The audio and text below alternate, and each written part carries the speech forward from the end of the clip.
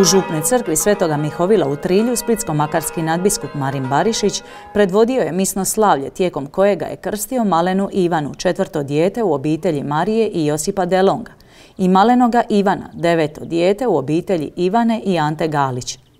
U vrijeme kada nam brojke ne idu na ruku i kada je puno više umrlih nego rođenih, obitelji s četvero i više djece za mnoge izazivaju čuđenje, a u očima vjernika poštovanje dara života koji dolazi od samoga Boga.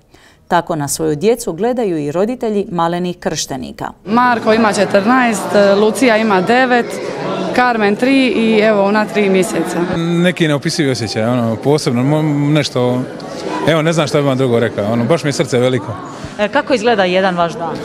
Pa evo, dan je, ja odem raditi, vratim se i mali ovi, ajde Marko, on je možda on je samostalan, čak i pomaže.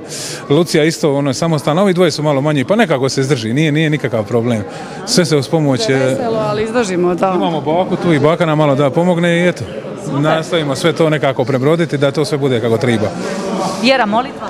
Pa, e, evo, ja, ja vam osobno govorim, tu sam rođen, tu sam kršten i to, je nešto, evo, za mene uvijek nešto neopisivo otići u crku.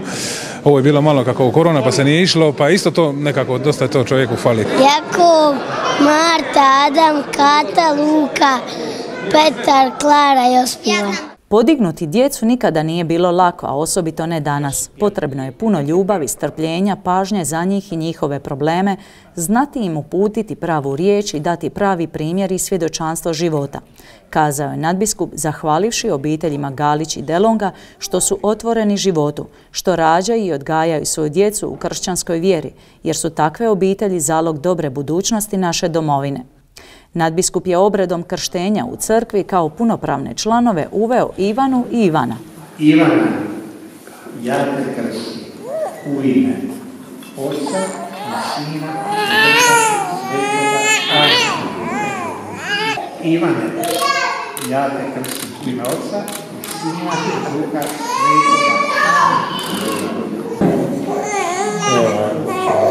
Svetoga. Križa, Ivana, Ivane, postali ste novo stvorenje i Krista ste obukli. Bila vam ova bijela haljena znakom tog dostojanstva. Pomognuti riječi i primjerom svojih najbližih, donesite neokajanu u vječni život.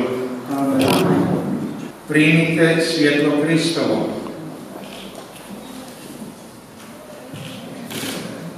vašoj se brizi roditelji i kumovi povjerava da podržavate ovo svijeto. Djecu vam je Krist prosvijetio da od sada žive kao djeca svijeta. Neka ustraju u vjeri da sa svima svetima u nebeskom dvoru mogu poći u susret gospodinu kada dođe.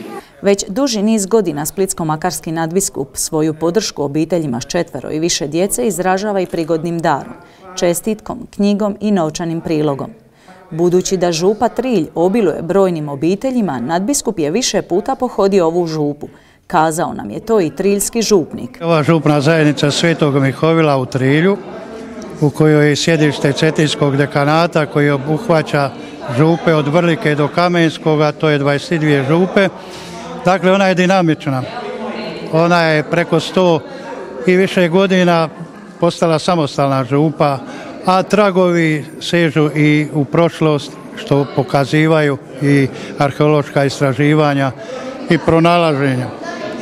Dakle, ova župa sada broji negdje do 4000 stanovnika, prije je brojila 5700 jer je bila u sastavu je istoj košute ove župe, pa je onda nadbiskup uspostavio novu župu Koštama gdje sam sagradio tada filijalnu crku, sada je župna crkva i pastoralni centar.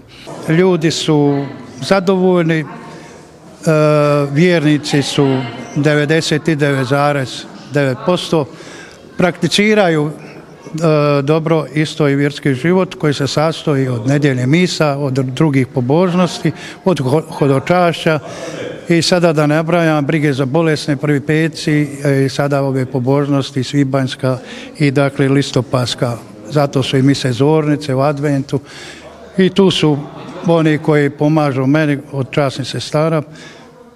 Zatim vjeroučitelja, vjeroučiteljica i drugih zauzetih vjernika, laika koji su bili pastoralno vijeće, sad treba ponovo to osvježiti. Kroz proteklu godinu, dakle, kršteno je ovoj župi 29 a umrlo je 15.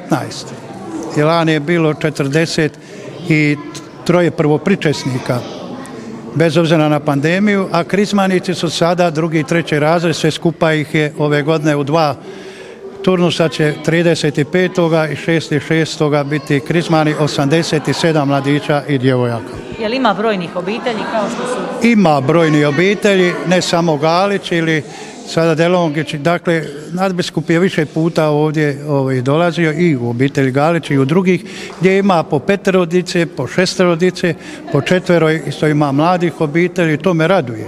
To me raduje dakle da se ne boje brojčanog stanja. O dobroj suradnji župnika i župljana posvjedočili su nam i sami župljani koji su aktivni u župnom pastoralu. Mješoviti zbor Sveto Mihovla župi već duže vremena, prije mnogo godina, premda su se neki ljudi ono došao neki mlađi naraštaj poput mene i tako da ovaj tu smo, aktivni smo dosta i ovaj pivamo, družimo se, a inače mimo, mimo ovaj mimo naše župe, mi muški pivači isto tako pivamo po drugim župama gdje nas pozovu, gdje treba. U župi sam aktivna članica zbora, dok prije korone sam držala i župni vjeronauk djeci, sedmim i osmim razredima i čitačica. Evo što vam znači sudjelovanje u životu župne zajednice?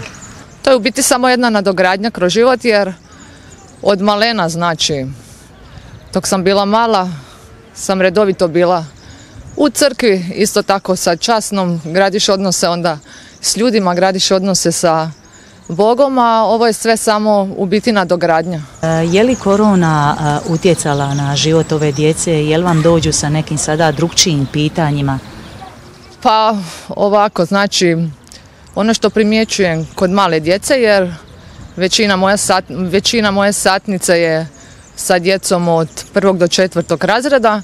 Kod njih se i ne vidi toliko znači taj utjecaj te nesretne korone jer oni su mali, bezbrižniji su nego ovi veći znači razredi, a oni već da osjećaju, znači osjećaju te nekakve nedostatke, nedostatke u prijateljstvu jedni sa drugima. Pa ja sam u mojoj župi rođen, od malena sam već počeo gledajući svoje roditelje kako idu u crkvu, tako je preneseno i na mene i na moju obitelj, tako da smo mi svakodnevno, svake nedjelje u crkvi i svakim dana koji dozvoljava nam vrijeme da možemo doći smo u crkvi većinu. Kažete da ste otac četvero djece, ali djeca isto sudjeluju u životu župe na koji Pa djeca ponekad malo se sramu, ali znaju nekad i oni čitati misna čitanja ako dođu ranije pa ih časno uhvati da pročitaju, inače ne odbijaju to. Pomažem župniku na svim važnim događajima vjerskima, naša je crkva mala pa imamo sve vjerske događaje važne izvan naše crkve, ispred crkve, pomažemo svemu, u liturgiji,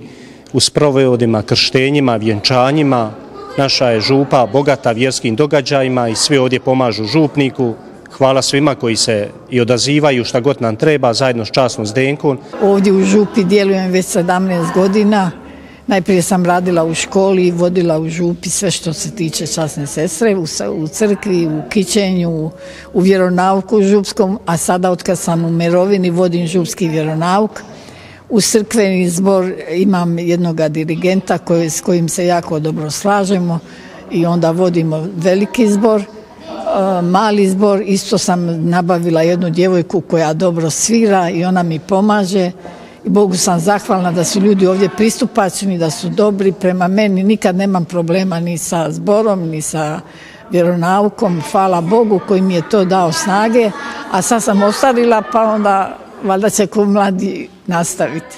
Župi Svetoga Mihovila u Trilju želimo još mnogo ovakvih lijepih i radosnih trenutaka.